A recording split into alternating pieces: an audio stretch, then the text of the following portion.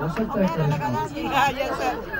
Please خاموش ہو میں سب سے پہلے جناب عمران خان صاحب کو خیبر کو آنے پر ویلکم کرتا ہوں۔ میں وومن ڈے پر آپ سب کا شکریہ ادا کرتا ہوں کہ آپ لوگوں نے ہمیں دعوت دی۔ اور ہمیں فخر ہے کہ ہمارے تحریک انصاف میں خاتون، خواتین، بڑھ چڑھ کر حصہ لے رہی ہیں جو ان کو ضروری لینا چاہیے، کیونکہ جیسے آپ گھریلو کام کرتے ہیں سیاست میں بھی آپ کو پورا بڑھ چڑھ کر حصہ لینا چاہیے اور ہمیں یقین ہے کہ ان شاء اللہ اگر ہماری خواتین اس ملک میں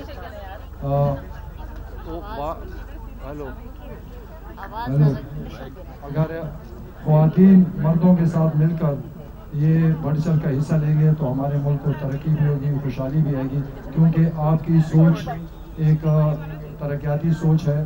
اور جیسے آپ اپنے خاندان اور بچوں کو سنبھالتے ہیں، اسی طرح ملک میں حصہ ڈالیں گے تو یہ بہت بڑی قربانی ہے۔ اور خاص طور پر خیبر پختونخوا، جو اس ہمارے خواتین آگے نہیں آتی۔ میں ان سب کو ریکویسٹ کرتا ہوں کہ آپ گھروں سے نکلیں اس ملک کو سنبھالیں اور تحریک انصاف کا ساتھ جتنا آپ لوگوں نے دیا، ہمیں اس پہ فخر ہے اور ان شاء اللہ تعالیٰ آئندہ بھی اس پہ کام کرتے رہیں گے۔ میں آخر میں آپ سب کا دوبارہ شکریہ ادا کرتا ہوں اور خان صاحب کو دعوت دیتا ہوں کہ وہ بات کریں۔ گے بسم اللہ الرحمن الرحیم۔ میں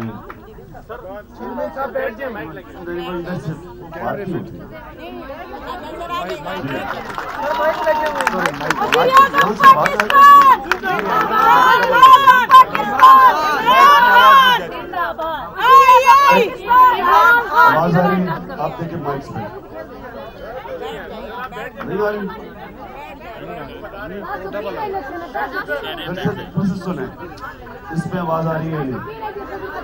نہیں آ رہی نہیں آ رہی اچھا آپ پہ بیٹھ جائیں آپ بیٹھ جائیں آپ بیٹھ جائیں آپ کیمرہ مین پلیز بیٹھ جائیں ان کو آنے دینا۔ وہ پیچھے نہیں دیکھ سکتے۔ چلیں، اوکے۔ اچھا جی بسم اللہ الرحمن الرحیم۔ جی میں سب سے پہلے ہماری خواتین، ڈاکٹر گیلانی، آپ کی قیادت میں جو ہماری تحریک انصاف کی جو ہماری ممبرز ہیں، جو عہدے دار ہیں، میں آٹھ مارچ جو ہے انٹرنیشنل ویمنس ڈے ہے، اس پہ میں آپ سب کو خوش آمدید کہتا ہوں۔ اور میں اپنی تحریک انصاف کی جو ہماری خواتین ہیں، ان کو خاص طور پہ خراج خراج تحسین پیش کرتا ہوں۔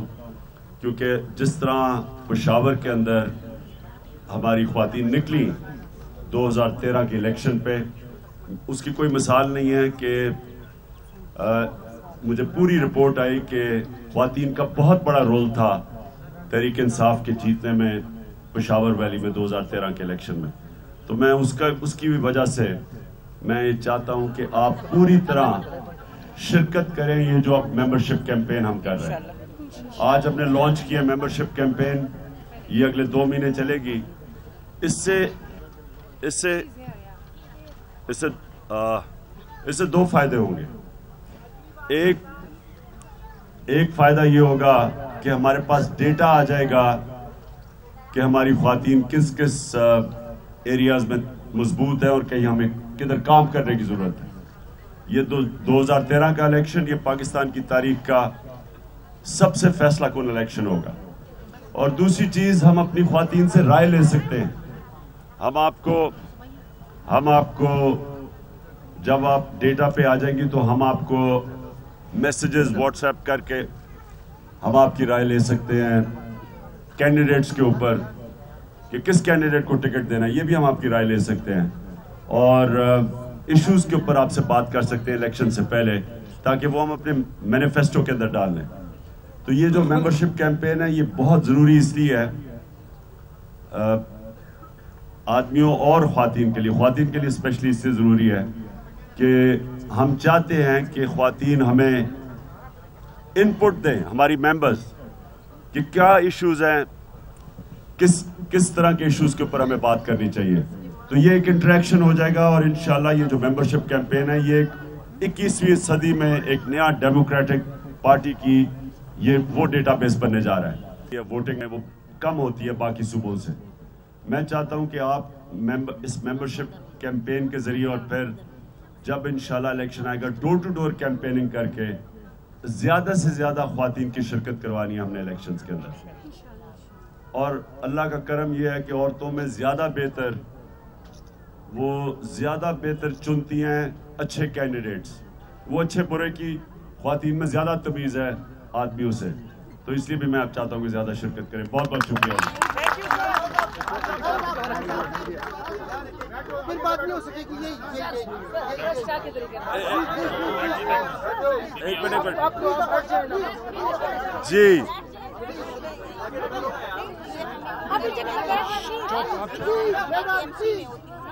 ایک منٹ جی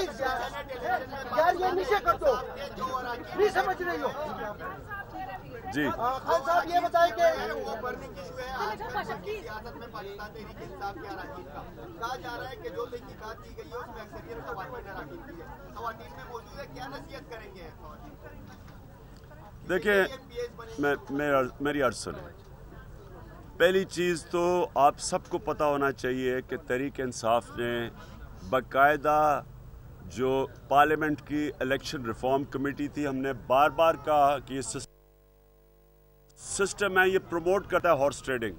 یعنی لوگوں کو اپنی ووٹ بیچنے کا موقع دیتا ہے یہ سسٹم، جو سیکرٹ بیلٹنگ کا ہے۔ تو ہم نے دو تجویزیں دی تھی۔ یا تو آپ جس طرح امریکہ میں ڈائریکٹ سینٹ الیکشنز ہوتے ہیں، وہ کروائیں، اور یا پھر جو لسٹ سسٹم ہے، جو عورتوں کی جس طرح کی عورتوں کا جو ریزرو سیٹس پہ عورتیں چنی جاتی ہیں پروپورشنلی پارٹی کی اسٹرینتھ کے مطابق، یا وہ کریں۔ لیکن ہم نے کہا کہ یہ سالوں سے، پچھلے پتہ نہیں کب سے بک رہی ہیں ووٹس اور ہم سب کو پتہ ہے بک رہی ہیں۔ ہماری جمہوریت کی بھی ڈسکریڈٹ ہوتی ہے اور ہمارا جو سینٹ ہے، وہ بھی ڈسکریڈٹ ہو جاتا ہے۔ جب لوگوں کو پتہ چلے کہ جی پیسے دے کے کوئی آیا ہے۔ تو ہم نے پہلے کوشش کی بدقسمتی سے، یہ میجر پارٹیز نے ہماری بات نہیں مانی۔ اور اور یہ اس سینٹ الیکشن میں وہی ہوا جو ہمیشہ ہوتا ہے۔ لیکن اس بار یہ ایک فرق ہوا کہ قیمت اور زیادہ مل گئی لوگوں کو۔ لوگوں کی ضمیروں کو خریدنے کے لیے ہمیں جہاں تک خبر ہے چار چار کروڑ روپیہ دیا گیا۔ اب ہمیں یہ تو پتہ کس نے دیا۔ کس نے لیا؟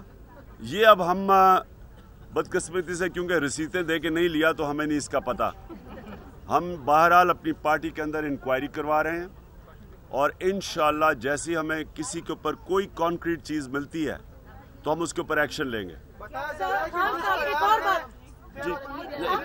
نہیں نہیں جی جی جی جی۔ جی ایک منٹ ایک منٹ۔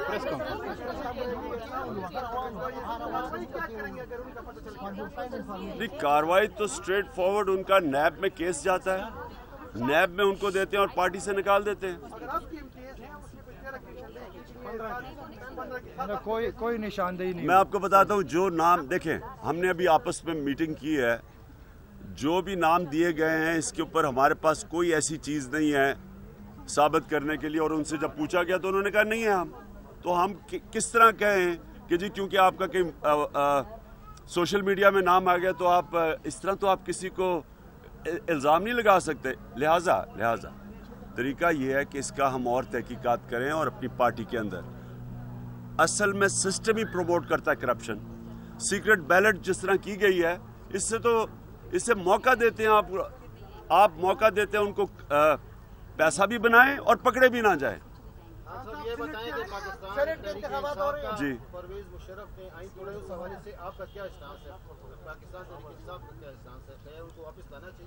آئین تو جو دیکھیں قانون ہے سب کے سامنے ہے جو آئین توڑے اس کی سزا ہے تو وہ تو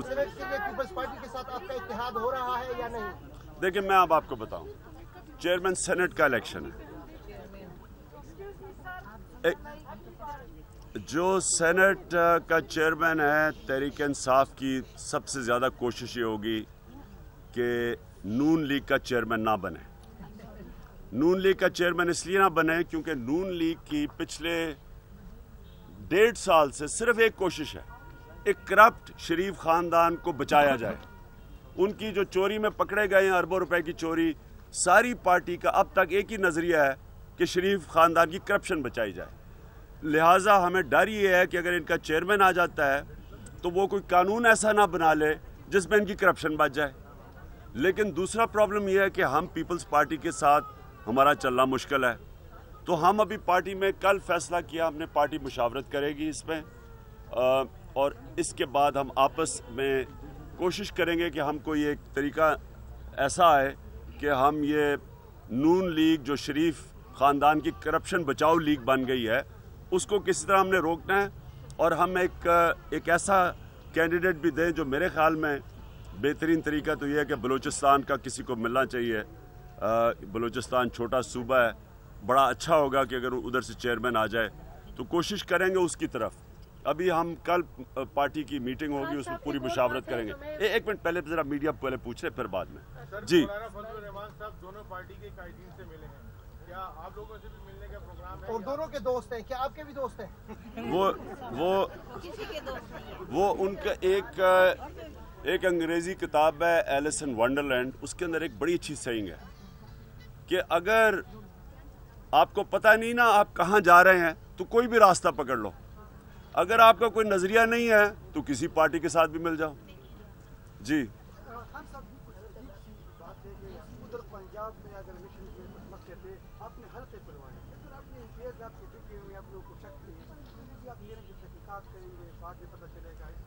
میں آپ سے میں آپ سے آپ سے سوال پوچھتا ہوں۔ ہم جناب کی ہمیں جو ہم نے بھی لسٹیں دیکھی ہیں سوشل میڈیا پہ چل رہی ہیں۔ ہم اس لسٹ پہ کہتے ہیں آپ کو نکال دیا۔ وہ عدالت پہ چلے جاتے ہیں۔ کہتے ہیں جی انہوں نے مجھے غلط نکالا، ثابت کرے میری توہین کر دی ہے۔ آپ کیا کہیں گے؟ کون ان کے پاس؟ آپ کو کچھ عدالت میں یہ اس سوشل میڈیا پہ نام آنے سے آپ نہیں ایکشن لے سکتے۔ آپ کے پاس کوئی چیز ہونی چاہیے۔ آپ کو پتہ ہے کہ ساری دنیا کو پتا تھا کہ نواز شریف نے پیسہ چوری کیا ہے لنڈن میں فلیٹ لیے ہیں۔ ایک سال لگا ہے عدالت کے اندر۔ ساری دنیا سے جے آئی ٹی بیٹھی کچھ۔ تو یا تو انہوں نے سسٹم ہی بنایا ہوا ہے۔ جو سینٹ الیکشن کا سسٹم ہے وہ سسٹم ہی ہے کہ چور کو بچاؤ۔ جو جو اپنا ضمیر بیچتا ہے سسٹم اس کو پروٹیکٹ کرتا ہے۔ سیکرٹ بیلٹ ہے۔ اگر آپ کے پاس ثبوت ہے تو آپ ہاں اگر کسی کے پاس ثبوت ہے ہمیں دیں۔ میں یہ کہوں گا میں آج یہ چیز کہنا چاہتا ہوں۔ میں جن کو چار چار کروڑ سے زیادہ کی آفر ملی اور وہ نہیں مانے میں تو ان کے اوپر دیکھیں پہلے ہوتا تھا بیس تیس لاکھ، پھر پچاس لاکھ پہ پہنچ گیا۔ یہاں چار کروڑ سے اوپر گیا ہے ریٹ۔ اور وہ لوگ جو کہ اپنے ضمیر کے مطابق نہیں بکے، آج ہم پارٹی نے تو میں آج آپ کو کہہ رہا ہوں کہ چاہے ان کی حلقے میں کچھ بھی نہ ہم نے ان کو ٹکٹ دینے ہیں۔ کیونکہ ایسے لوگ ہمیں چاہیے جو بکے نہ